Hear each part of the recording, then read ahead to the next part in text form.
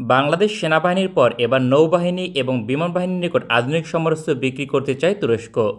গতকাল চব্বিশে জানুয়ারি দু হাজার তেইশ সালের একটি সাক্ষাৎকারে নিশ্চিত করেছেন তুরস্কের রাষ্ট্রদূত মোস্তফা ওসমান তুরান।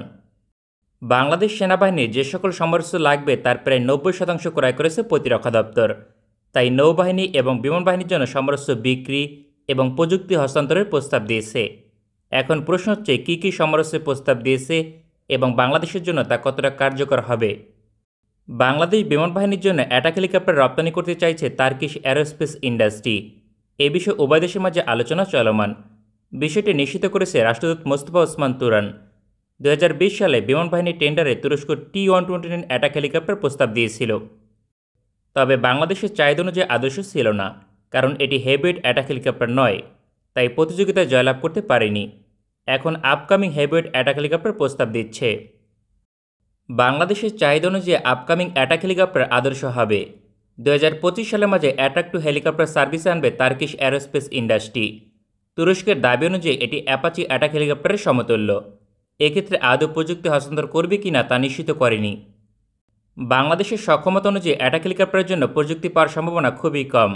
বাংলাদেশ বিমান বাহিনীর জন্য শুধুমাত্র অ্যাটাক হেলিকপ্টার নয় অ্যাটাক ড্রোন এবং যুদ্ধ বিমান রপ্তানি করতে আগ্রহী। বাংলাদেশ ইতিমধ্যে অ্যাটাক ড্রোন কিনেছে কিনা তা নিশ্চিত নয়। তবে অবশ্যই বিমান বাহিনী তুরস্ক থেকে অ্যাটাক ড্রোন কিনবে। এ বিষয়ে উভয় দেশের মাঝে আলোচনা হচ্ছে। বিশেষ করে আকিঞ্চি এবং আনকাইস অ্যাটাক ড্রোন কিনতে আগ্রহী বাংলাদেশ প্রতিরক্ষা দপ্তর। এছাড়াও বিমান বাহিনীর জন্য যুদ্ধ বিমান রপ্তানি করার প্রস্তাব দিয়েছে। তুরস্কের একটি মাত্র যুদ্ধ বিমান প্রকল্প রয়েছে, যা পঞ্চম প্রজন্মের। আপকামিং টিএফএক্স ফাইটার প্রকল্পে বাংলাদেশের অংশগ্রহণ নিশ্চিত করতে চাইছে। বিনিময়ে প্রযুক্তি সরবরাহ করবে। বাংলাদেশ প্রতিরক্ষা দপ্তর এই প্রকল্পে যুক্ত হতে আগ্রহী নয়, কারণ আরও উত্তম বিকল্প রয়েছে বাংলাদেশ বিমান বাহিনীর জন্য। বাংলাদেশ নৌবাহিনীর জন্য তুরস্কের প্রস্তাব প্রায় সকল ক্ষেত্রে গুরুত্বপূর্ণ, কারণ যুদ্ধজাহাজ নির্মাণের জন্য প্রযুক্তি হস্তান্তর করতে আগ্রহী। রাষ্ট্রদূত মোস্তফা ওসমান তুরান জানান, প্রযুক্তি পেলে জাহাজ নির্মাণ শিল্পে এগিয়ে যাবে বাংলাদেশ। বাংলাদেশ নৌবাহিনী এবং কোস্টগার্ডের পাঁচটি প্রকল্পে অন্তর্ভুক্ত হতে চাইছে তুরস্কের এসটিএম কোম্পানি। ইতিমধ্যে বাংলাদেশ কোস্টগার্ডের টেন্ডারে জয়লাভ করেছে, যার আওতাধীন নয়টি R S one hundred fifty offshore patrol vessel পাবে। বাংলাদেশের খুলনা শিপেটে আটটি তৈরি হবে প্রযুক্তি হস্তান্তর সহ। একটি তুরস্ক থেকে তৈরি হয়ে আসবে, তবে নৌবাহিনীর অফশোর পেট্রোল ভেসেল প্রকল্পে যুক্ত হতে আগ্রহী।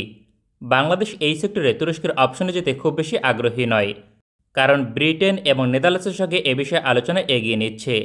এই দেশগুলো বাংলাদেশের নিকট প্রযুক্তি হস্তান্তর করবে। তাই শেষ পর্যন্ত অফশোর পেট্রোল ভেসেল প্রকল্প তুরস্ক পাবে না। যদি নাটকীয় কোনো পরিবর্তন না আসে, তবে নেদারল্যান্ডস অথবা ব্রিটেন থেকে বিশ্বমানের অফশোর পেট্রোল ভেসেল কিনবে বাংলাদেশ নৌবাহিনী। এই ধরনের পাঁচটি জাহাজ যুক্ত করার ঘোষণা দিয়েছে। বাংলাদেশের ফার্স্ট অ্যাটাক ক্রাফট করবেট এবং ফ্রিগেট প্রকল্পে তুরস্ক অংশগ্রহণ করেছে। সকল ক্ষেত্রে প্রযুক্তি হস্তান্তর করার প্রস্তাব দিয়েছে।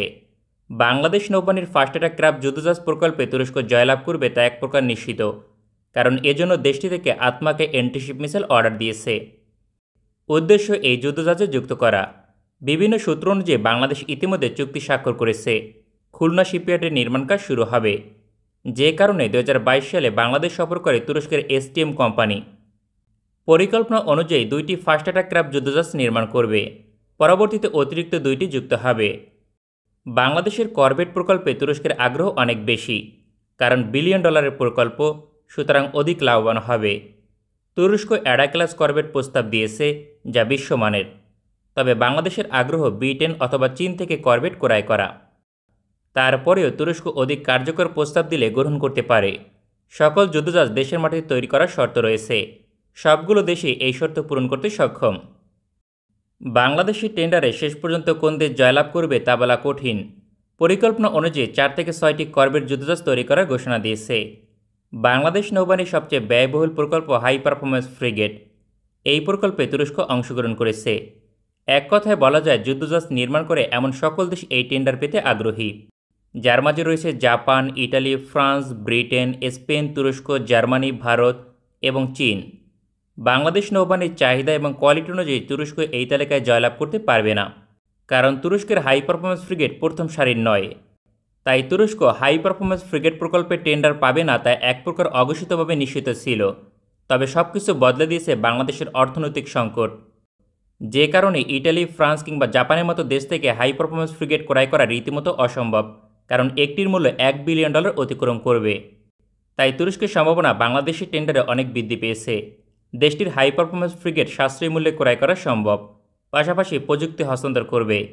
এছাড়াও বাংলাদেশকে দক্ষ জনবল তৈরিতে সহযোগিতা করবে। বাংলাদেশ নৌবাহিনীর হাই পারফরমেন্স ফ্রিগেট প্রকল্পে এখন তুরস্ক যোগ্য প্রতিদ্বন্দ্বী, যার একমাত্র কারণ সাশ্রয়ী মূল্য, কারণ পাঁচশো থেকে ছয়শো মিলিয়ন ডলার দিয়ে একটি হাই পারফরমেন্স ফ্রিগেট কিনতে পারবে। বাংলাদেশ সেনাবাহিনীর জন্য সমরস্য বিক্রিতে তুরস্ক যেভাবে সফল হয়েছে, একইভাবে বিমান বাহিনী এবং নৌবাহিনীর প্রকল্পে সফলতা পাবে, কারণ বাংলাদেশের সমরস্য বাজারকে মূল্যায়ন করে দেশটি। বাংলাদেশের প্রতিটি চাহিদা পূরণ করার জন্য ছাড় প্রদান করে। তাই দেশটির সঙ্গে সামরিক চুক্তি করতে কোনো আপত্তি থাকে না। সমরস্য করার ক্ষেত্রে এই ধরনের ঘনিষ্ঠ সম্পর্ক থাকা অত্যন্ত গুরুত্বপূর্ণ।